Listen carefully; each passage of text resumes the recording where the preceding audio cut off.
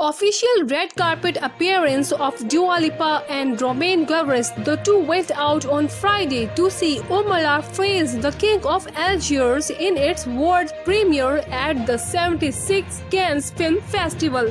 The 27 years old artist and the 41 years old director of the music video were on the carpet holding hands, laughing, and gazing affectionately at each other. The two were originally connected in February after being seen leaving a party in London together.